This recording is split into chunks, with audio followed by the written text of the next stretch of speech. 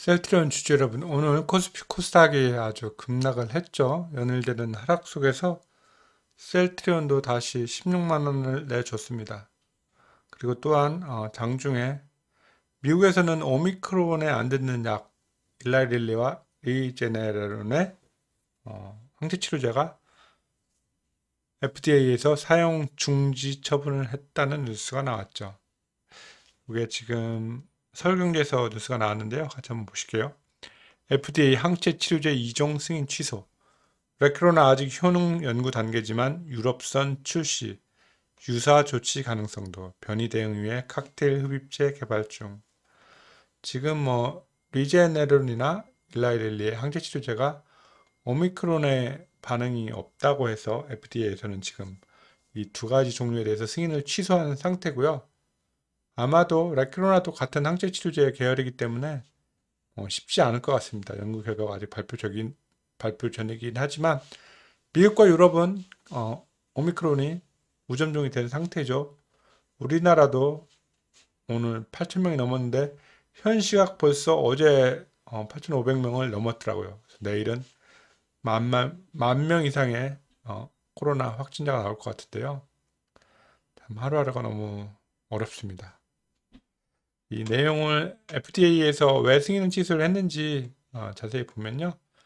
미국 FDA 오미크론 치료제 효과가 떨어지는 코로나19 항체 치료제들에 대해 긴급 사용 승인을 취소하자 셀트리온의 자수항체 치료제 레키로나에도 불똥이 틀까 촉각을 곤두세우고 있다.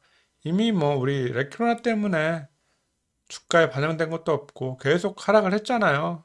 뭐 사실 불똥이 튈까 촉각을 세우고 있지도 않습니다. 우리 레키로나에 대한 기대는 다 져버렸잖아요. 이제는 그 대신에 우리가 어, with 코로나로 가면서 자가진단 키트에 대한 매출이 1, 4분기에는 꽤 많이 찍힐 걸로 보이는데요. 결국엔 이 우리는 오미크론에 효과는 없지만 어, 레크로나를 개발한 기술력으로 오미크론에 대응하는 칵테일 항체, 칵테일 항체에 조금 기대를 해야 될 것 같습니다. 레키로나는 오미크론의 효능이 있는지에 대해서는 현재 셀트리온과 국립보건연구원의 연구를 진행 중이다. 만약 레키로나가 오미크론에 잘 듣지 않는다는 결론이 나오게 되면 셀트리온은 한국과 유럽 글로벌 시장에서의 레키로나 사업 전략 수정이 불가피할 것으로 예상된다. 다만 셀트리온은 국립보건연구원의 연구 결과와 무관하게 이미 변이 치료제 개발에 돌입한 상태다. 이게 핵심이죠.